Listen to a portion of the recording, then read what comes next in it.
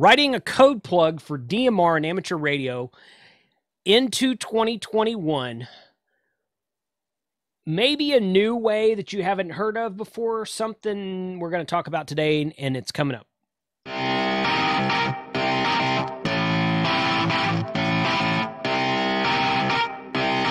Shut up and sit down. Good afternoon. My name is Jason. I'm KC5HWB. This is Ham Radio 2.0, where we do reviews, news, and how to's of many things that are new in amateur radio. So, coming out of 2020 into 2021, which is about the time this video will post, I've been kind of tinkering around with this idea for a little bit. And I want to show you guys a new way that I'm going to program a code plug for an Anytone radio. This is the Anytone uh, D878UV Plus. It's the model that has both Bluetooth and GPS. You can use this tactic that I'm about to show you with uh, the 878, the non plus version, the 868, the BTECH 6x2. It even works with the TYT MD UV series of radios. So the UV380 and the UV390. I assume it'll probably work with the MD 2017. I did not try that one, but uh, but it definitely works with the MD UV390, which is what this is. The 380 takes the same firmware and the same uh, CPS most of the time. So I wanted to show you uh, kind of a new idea I had. Now I will a small disclaimer, okay? It's likely I'm not the first person to ever think of this. Okay, this is kind of like one of those things that's like obvious, and I'm kind of surprised no one's talked about it. Now, maybe someone is talking about it. I admittedly, I don't watch every YouTube channel out there and read every news article that comes out about DMR, but this is a new, newish, new to me. I'll put it that way. This is a new to me, new to me way to write a code plug. It's a little bit more simple and with the features of a VFO and programming from what's called FPP front panel programming that a lot of these new radios have today, this is a feature that you can use that's uh, very easy to implement. So let's take a look over here real quick. What I've done here is I've taken the Anytone code plug. Okay, so the, the long and short of it is I'm programming two channels per repeater. Okay, so I've got my I've got my complete list of digital contacts in here. I did a video a while back about programming a, a, code plug. We did a lot. Frank and I did a live stream one Sunday night a few months back. So I've got the most recent contact list loaded in here. This option right, this this list right here, I had offered for download to anybody who wanted it, and I've updated this list since the live stream that Frank and I did and there's a few more talk groups in here now. So the the important thing to remember if you're going to follow this process, there's about 151 talk groups in this list right now. The important thing to remember if you're going to follow this process is that you want to get a talk group list that contains everything that you might want to talk on. You can see right there, that one's got 151 different talk groups. It includes the 51 statewide talk groups in the USA, the 51st being uh, Washington, D.C., they have their own statewide talk group. Um, Puerto Rico has some talk groups, but they don't call them statewide.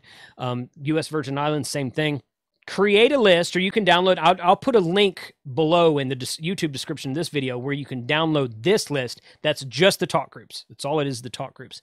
And then what you want to do is you want to come through the talk group list here and basically create a channel. You can see right here that, uh, this channel name column right here. I've got kc5 hwb1 and 2 this is this column right here if you can see the mouse moving I got my TGIF spot and my openSPOT. It's important to know that I've got two different hotspots and they're on two different frequencies.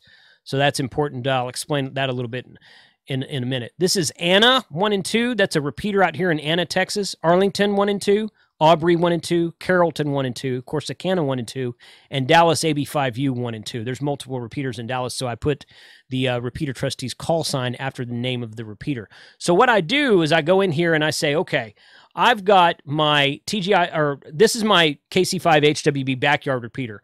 The frequency I have is 440.5125. That's the offset. Um, that's my color code and my time slot and my um, and my talk group is North Texas wide right here. That's what I've got set there. So the reason I create two channels per repeater is really kind of two reasons. Number one, because the the radio that we're talking about right here is a dual display radio. So I can monitor and listen to two channels at the same time. Also with DMR, if you're talking about a repeater, uh, DMR repeaters are dual time slots. So you can listen to and monitor two time slots at the same time. Now, only one talk group can be active at the same time on the time slot. But if a repeater is silent and you and you set your radio to listen to one specific talk group, and then you turn on what's called monitor mode on the Anytone or some or on the uh, old TYT older TYT radios is called promiscuous mode. Then it'll listen to anything on that time slot anyway, so it won't matter where you are. About the only place I could I could see that this new process I'm about to show you would not work is if you do a bunch of scanning. If you're scanning channels across multiple talk groups on multiple repeaters, including digital and analog, this might not be best for you. I don't do a lot of scanning on my DMR radio you can use monitor mode and promiscuous mode to listen to all the time slots on a repeater. And typically, I don't put very many analog channels into my DMR radios unless I'm, you know, I, I've got a few in there. I've got a few of our local repeaters in there, but it's, they're not something I really monitor a whole lot unless I'm going out with a group of people I know we're all going to be talking on this repeater. So if you're really big into scanning and creating scan lists, this might not work for you, but take a look at it anyway and let me know what you think. So what I do is instead of having, you know, if for instance on my on my backyard repeater, I've got probably 30 or 35 talk groups connected to this repeater. And of course, if you're on Brandmeister, you've got hundreds of talk groups on on most repeaters. So rather than programming a channel for every talk group, which is traditionally what you would do, I program two channels, one on time slot 1, which is right here, and the next one on time slot 2, which is right here. That actually should be a 2. TGIF. Of course, your hotspots are usually going to be on time slot 2, unless, of course, you've got a dual time slot hotspot. There's Anna 1, the channel name, on slot 1, and then Anna 2 on slot 2. Arlington 1 on slot 1, Arlington 2 on slot 2, and et cetera, et cetera. So what I do is I take that and then I will I will build a zone, and I just called the zone North Texas. And of course, you know you can you can name a zone after your state, you can name it after your area, you can name it however you want to. And I'll probably create one for South Texas, maybe create one for Galveston, Houston area, something like that. And then you add, and then all of these channels that I have in the code plug right now. It's this is a brand new code plug I just started, so I don't have a lot in there right now. But all these channels are in the North Texas area, the Dallas Fort Worth North Texas area. You know, the openSPOT in the TGIF spot, you of course you can put anywhere you want to. I could create a separate zone for hotspot if I wanted to. Hey, if you're finding value from this video and this instructional series, click the thumbs up for me and subscribe below. If you don't mind, it does help with the YouTube algorithm. Let's get back to it. So now what I can do, let's get this view going over here. I can go into the radio and I can say, okay, so North KC5HWB1 is the name of my channel. So if I turn the channel knob, you see that changes there. And the North Texas, the the white text underneath, you can customize all this text, all the color text here. This is one of the cool things about the Anytone radio. So this is North Texas. North Texas is the name of the zone right now, and then you'll see it'll it'll flip back. NTX wide is the name of of the talk group that this channel is programmed on. So I can talk on North Texas wide on this channel, and I can change it to the same repeater. And I can say, okay, so KC5HWB2 is my second channel for that same repeater, and I'm on Texas statewide. So I can monitor both, uh, or I can monitor both time slot one and time slot two at the same time. And then if I want to change something, if I say, okay, I'm on, this is my time slot one, I know because I got a one after it. This is my time slot two. And of course, you can name it whatever you want to. But if I want to change something, I go into the menu, and the very first option is talk group. And I go in here and say talk group list, and I want to change it to, let's say I want to change it to TAC 310. Then I can select that, select contact, contact selected, back out of it and now my KC5 HWB1 on the North Texas zone is on TAC 310. So when I key up the radio, it's going to key up TAC 310 on my repeater. So that eliminates the need to hold a bunch of channels in your code plug. So now creating code plugs is going to be even that much quicker because all you have to do is create, and you don't have to do two channels. You can do just one channel for a repeater. That way, if you if you say, well, I've got two repeaters near me, I'll listen to that one, I'll listen to that one. So program one channel for this repeater and one channel for this repeater. I like to do two two channels per repeater because, like I said, every DMR repeater has two time slots. So I just put, I just create a channel number one for time slot one on this repeater, channel number two for time slot two on this repeater, and that's it. That's the only two channels I create for that repeater. And then I can go and I've got the time I've got the time slots already set. So then I can go change talk groups for whatever I want. A lot of these Brandmeister repeaters only have one time slot connected to the Brandmeister network. They have the second time slot designated for like talk group 9 or talk group 10 or talk group 2 maybe sometimes. That is a local repeater only talk group. So you can monitor talk group 9 on your local repeater on time slot 1 and then you can go to time slot 2 and choose which talk group you want and turn on monitor mode so that someone starts talking on a talk group that your channel's not currently set to. You hear that traffic, you look at the screen of the radio, you see where they're on, and then you go into the radio settings and you change it to that talk group and you can key up and talk to the person. So rather than creating hundreds of channels for your code plug, depending on what you want to listen to. You know, some people only want to listen to a couple of channels here and there. They say, well, Brandmeister's got 1,200 plus talk groups. And that's true, but how many of them do you actually monitor?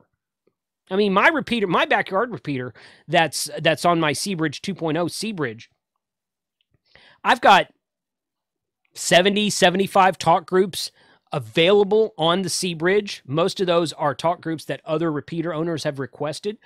In reality, I use like four of them. I mean, I talk on the I talk on our Texas statewide talk group quite often.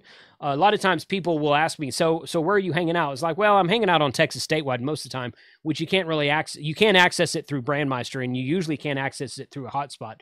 More videos coming on that later, by the way. So, so I, I listened to that. I listened to the RFinder talk group on Brandmeister, which is talk group number 31770.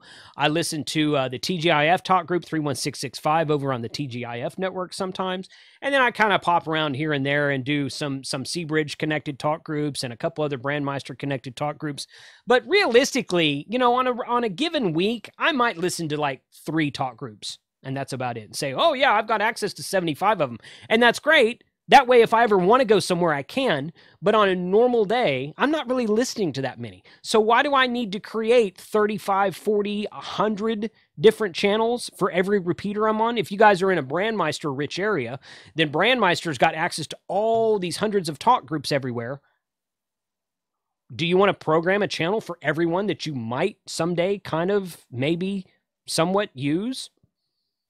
I don't know. Seems like a lot of time wasted. So with only programming two channels per repeater, um, and you know, you could do more than that. If you wanted to do, say, well, I monitor five or six talk groups on my hotspot, then do five or six channels for your hotspot. Okay. But still, on a single time slot hotspot, you can only listen to one channel at a time. And on a dual time slot hotspot, you can only listen to two channels at a time. Okay, now you can turn on monitor mode and you can have, and you can go in the Brandmeister dashboard and you can set certain channels to, to static so that they're always on. Yes, you can do all of that. So there's ways to manipulate the system. This is not a open and shut case of you have to program it this way. But it makes it a lot easier because now when Texas, Texas added like three new repeaters last week. So now when Texas adds a new repeater, I just create two channels with the, both with the same repeater frequency one on time slot one, one on time slot two, and then my my talk groups are already programmed in my radio. And I can go and manipulate those channels and say, well, I want to listen to statewide on this one. I want to listen to the AMSAT Brandmeister channel on this one. I want to listen to TGIF on this one. I want to listen to the New York uh, New York Metro wide 444 on this one. And I can go and change around anywhere I want to. So let me know, let me guys know what you think about that. Has anyone ever done this before? Like I said, I'm probably not the first one to think of this style of creating a talk group. Used to be, I would create a talk and say, okay, well, this repeater has access to 12 different talk groups. So we'd create 12 channels, set the time slot and talk group in the same frequency and color code and on all 12 of those channels and just change the time slot and talk group depending on how the repeater was programmed. And then we'd move on to the next repeater. Well, when you've got 120 repeaters in your state like Texas does, that takes a long time. So, who's thought of this? Has anyone done this before? Let me know in the comments below. Check out the description below for the links to download the talk group um, template that I put down there, 73, and we'll catch you next time.